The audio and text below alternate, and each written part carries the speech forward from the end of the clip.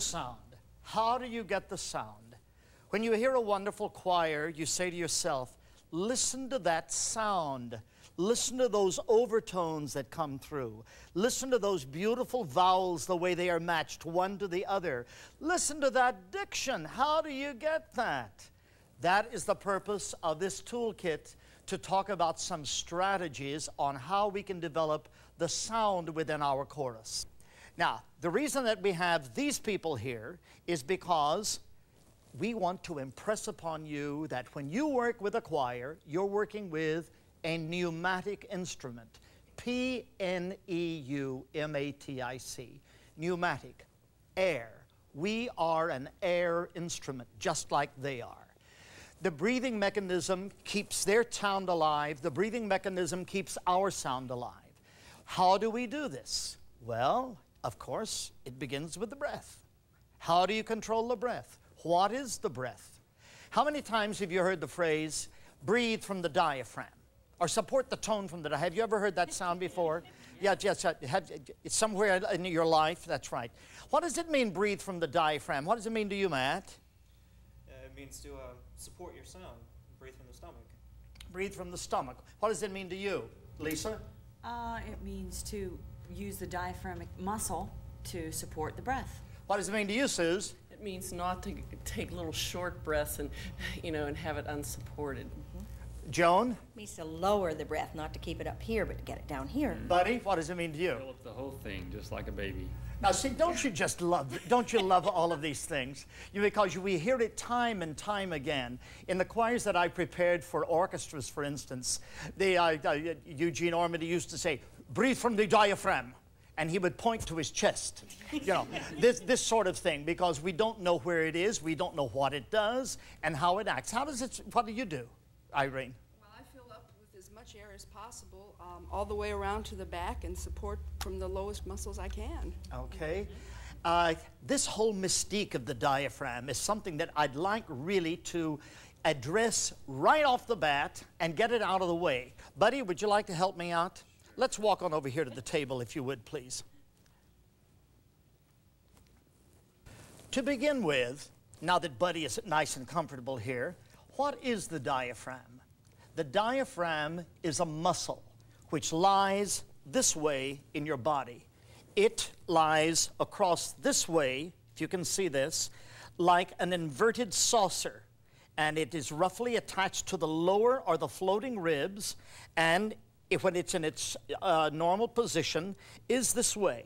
When you inhale, it moves down so that the organs which have been attached up here, I mean not attached, but which are up here, like your spleen, your, your pancreas, your stomach, etc., they've been bunched here. They have no place to go when the, when the lungs expand and they push, the, uh, push open down here and widen the rib cage. The diaphragm then is extended flat or down lower and pushes these muscles so that they, the, these organs, they have no place to go. They run into the pelvic bone, and so they can't go any further. They cannot go out the back because they hit the spinal column, so the only way that they have to do is to go up. So when you inhale, you will feel, you will feel almost as though you're getting fat right in the belly button area. Ribs stay the same. One of my teachers used to say, your rib cage should be like Joan of Arc's suit of armor. It never, it never really changes. You keep these punched out. Now, let's, let's see what happens here, because this is the crucial thing so far as we're, as, as we're concerned as vocalists. This air mechanism is one that works like a bellows. As we inhale, the stomach comes up, and as we exhale, it goes down. I, I tell my kids, begin thin and feel fat as you inhale. Now, buddy, do this for me. Will you take, get all the air out of your body, open your mouth, now gasp. now, notice that. Notice how, how that happened there, and you feel a real bunching, but you didn't see anything happening here. That's the crucial point.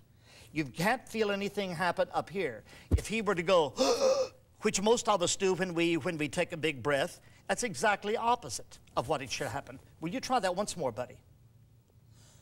Wonderful. Now get all the air out again. By the way, Don't ever try to save air. You are not a pneumatic savings and loan association. You know, you don't save a little breath from this phrase for the next phrase or for a phrase that's coming up that's going to be long. You use every bit of it. You use every bit of it. All right, try it once more. Now hiss the air out. Now notice as he hisses the air out that this still goes down. This still goes down. It pulls way in. Now, notice also when he gets to the air supply, what happens to these muscles right here, buddy? Did you feel them tighten there? What? That's right, they're tight. They, tight, they tighten up a little bit. These are the support muscles. The support muscles, we call the groin muscles below, below the belt buckle, are the support muscles. The muscles within the belt buckle area are the breathing muscles. These must be able to be flexible and to be moved in and out. These give the support. Now, I'm going to go back and take care of them, buddy, while you get off the table there, if you will. Would you lie back, ladies? Here, here we have it. Joan and Lisa, here we go. Now, will you take a good breath where my, there we go. Bravo. Do you see those tummies move? You see those tummies go way up and down? Now, try that again. Bravo. Let, exhale, exhale. There we go. Now, would you do one, something, or will you pant like, stick your neck out, uh, your neck, not your neck out, stick your tongue out and pant like a dog? Slow down the panting. Now, will you do one other thing for me, ladies? Would you take that breath and then sing an O vowel? Any pitch you choose. O. Now, feel that coming in? Let it come in, come on. Feel that come in? Or fine. As you got to the end of the uh, breath supply, what other muscles came into play, Joan? The same dead gummed groin muscles, right? Now, those are the support muscles, and getting them in place as you begin singing when you're on the maximum end of the breath supply is absolutely crucial you, to, to get them in like that. Okay, up. Here we go. Here, may I help you? there we go. So we're all so graceful here. Now, come on, Suze, you and I, you and I now. I I know the first thing that you're going to say is that we cannot sing a concert lying on the floor. well, no, you can't. Well, there's another step that goes in between from the supine position to the other. Let's on all fours, Suze. Here we go. Down here. There we go. There we go. Now, loosen your neck. Now, will you, will you take a good deep breath? Now, look and see what happens here. Now, do you feel that widen there? And that's the area, see, right under the ribs. Right under the ribs. Do that once more. Now, will you exhale? Shh. Now, can you, do, as you exhale this time, could you push up against where my hands are? As you exhale, push up against where my hands are. That's a little better. Now, will you pant? Notice, now you can see that all over. Singing is a physical exercise. Here we go, Suze. Now, while Susan is getting up, will you lie down on the floor? Turn the tape off. Lie down on the floor and check yourself. You can check yourself just as easily and check and see if your tummy works the same way that that is. Now, remember, this is a physical activity. It is not a passive activity. You've got to get up off of your tuchus and do something in order to really to be able to move that air properly. The next aspect of this whole business, of the commonness of our being air instruments, is the idea of the embouchure. Embouchure has to do with lip position. Most people do not think of it in the form of, say, a singer, but they uh, readily accept it the embouchure of a trumpet player, the embouchure of a clarinet player. Our basic embouchure is this these muscles here are connected all the way down here. And if you will lightly draw a diagram from right here on your face as though you had a black pencil, and it comes out right at the corners of your mouth and brings your lips forward. Will all of you singers do that, please? Here we go. Bring them bring right forward. Make sure your chin's down. Make sure your chin's down. Now, and, and leave those lips out. Now let's listen to the embouchure of the clarinet. What do you do with, with the embouchure, Irene? Can you tell me? Well, uh, on the clarinet embouchure, the chin is pulled down and pulled flat. The lips actually are pulled forward in a manner that's very similar to a, a singer's embouchure. And uh, there's also a lip pressure that's pulled down. Everything is all pulled in uh, to hold the mouthpiece firmly in the mouth. But there is a distinct embouchure which makes the playing of your instrument possible Yes. throughout the scale. Yes. Okay. Would you, would you play a, uh, a- a scale, any scale that you would choose?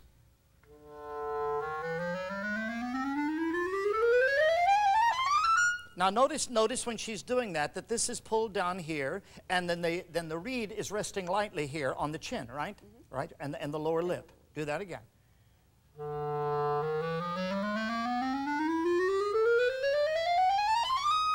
All the way up and down. Did she change this in order to do that? No, not one bit. Now, would you play us a scale, please, Matthew? Sure. Now, before he plays, look, look at what he did with his lips. Do you see, do you see that? It, that? Tell me about that. How did you develop that?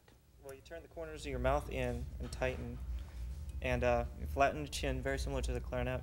So it's like this, and just curl. Okay.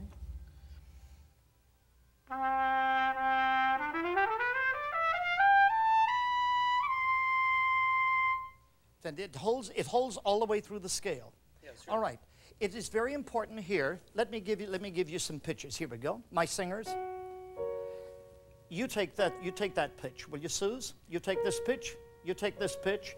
And Buddy, you take this pitch. Ready? And do this for me. And exactly the way they were now, with an E vowel. And.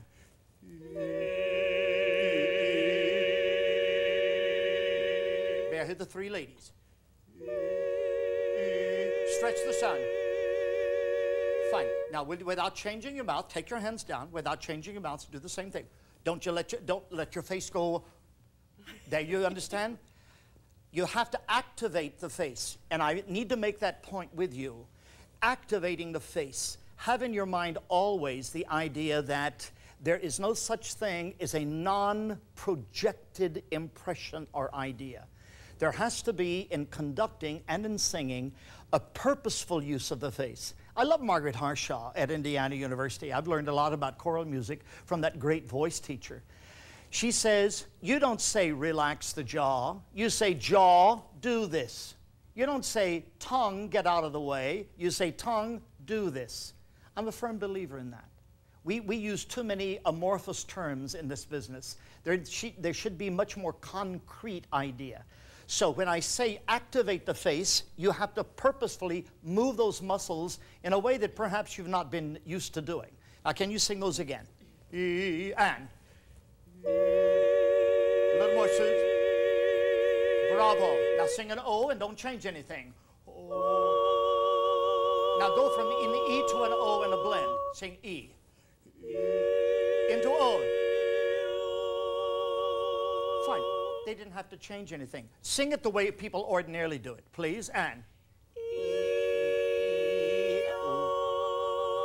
Now, do you hear the change of resonance as they go from what I call an east west vowel to a north south vowel?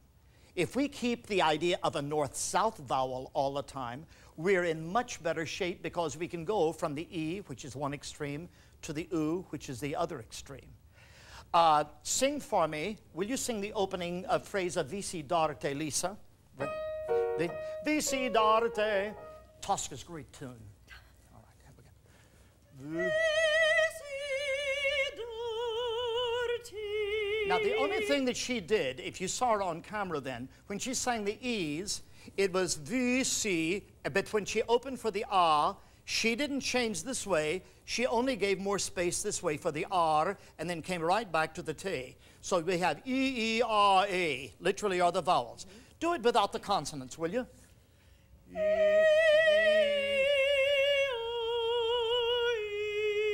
Fine. Only move the tongue a little bit as you go between those, bet- between those two vowels. Uh, Joan, what did you sing for uh, re-audition the other day? Uh, let the bright seraphim. Fine. Will you sing me the opening phrase of that? And. Let the bright seraphim in Now, you see the way that, that embouchure stays almost the same the entire time as she goes from one of those to the ending? Will you do that again, all on an E vowel, Joan?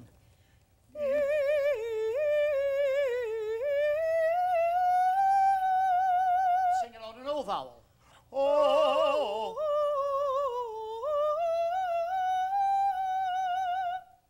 Same, same embouchure, same embouchure.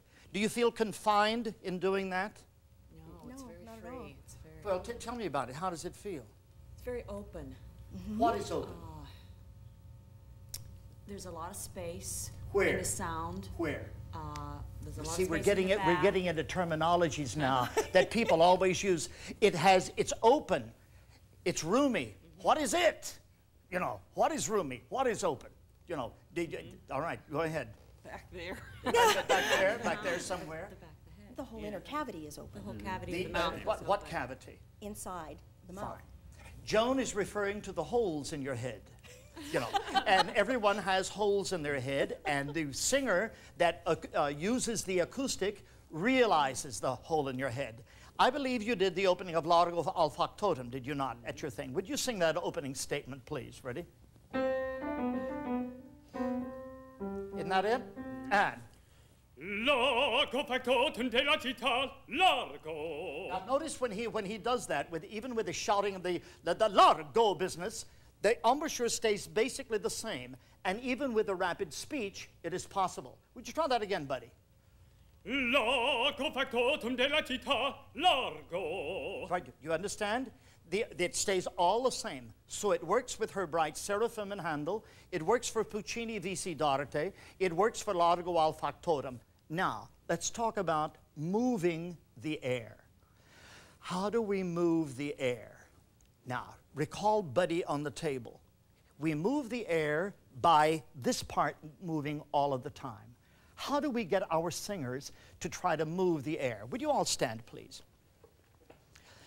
When we stand, we work against gravity. We do not stand with something strong behind our back, as when we are in the supine position on the floor. We have to make ourselves feel the strength of that. Now, would you do this for me? Here we go. Bring the chin down, chin down. So, look at the skeleton here. when you go to the doctor's office and that little wing ding comes up and you want to try to stand as tall as possible, the little wing ding goes around to the, uh, the uh, uh, crown of the head, right? Now, do that. Put your hand on the crown of your head. Oh, come on. Now, the crown, not this part, the crown. That's what makes you stand six feet tall. There we go. Now, what happens to the back of your neck when you do that, buddy? It pulls it up, doesn't it? It lengthens it. Now, that's a good term. Sing so that you lengthen the back of the neck.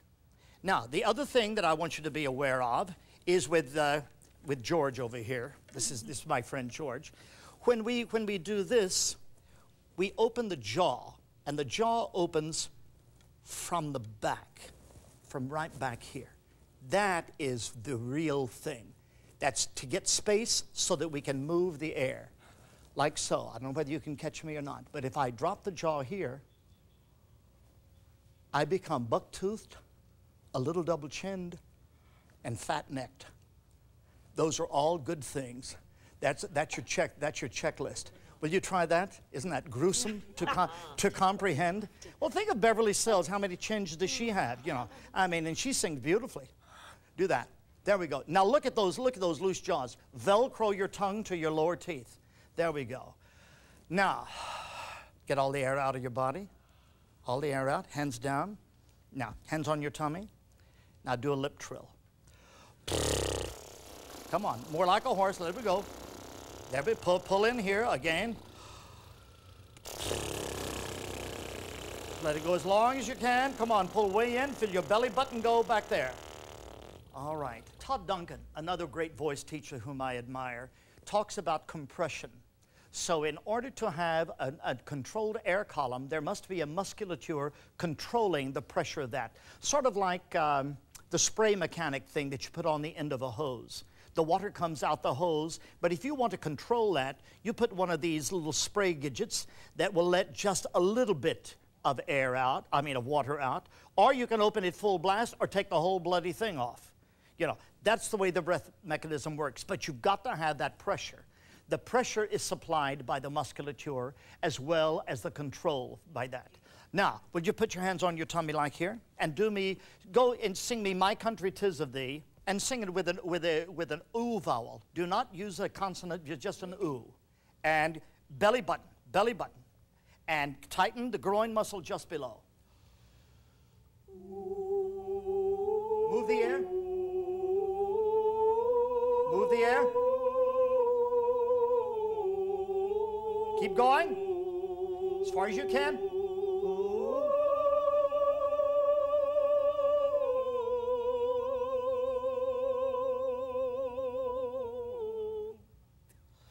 We got the Pilgrim's Pride. Nah, how far can you go? Now, the, the, the way to do it first is to lie down on the floor. You go through the whole thing that we did with Buddy over here, checking to see whether your belly button is really working with the breathing mechanism. Do a dry lip trill. Do one. Do that one. All for as low as you can and as high. Hands on your belly button. Way high and way low. Way high. Fine. The next thing is you try to sing your melodies. Sing your melodies with a lip trill and see what it does to the musculature. It's funny about it, but with a lip trill and with this kind of embouchure, these muscles can't help but work. And believe me, that's the most important thing. Now, try that once more, the lip trill on My Country Tis of Thee with the instruments. Now, see how far you can go on run breath. All right, here we go. What's that? How much time do I have? Oh, I like it. All right. And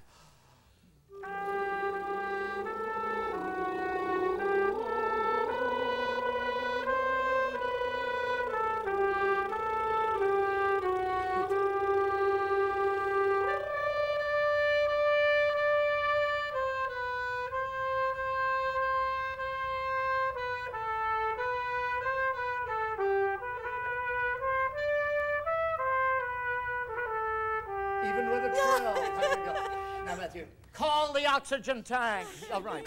I hope you've learned just a little bit about this, uh, this business of the mystique of the diaphragm, the real embouchure for singing, and the control of the air, because it's going to have a tremendous effect upon you and your choir. And have guts enough to try it. Don't just look at this, go out and try it because it works with great singers, it works with children, it works with geriatric singers, but, uh, but you have to try it. And you have to do it first. You have to know what your voice is and what it's doing before you can get somebody else to do something with their voice. It just boils down to that. Thank you very, very much.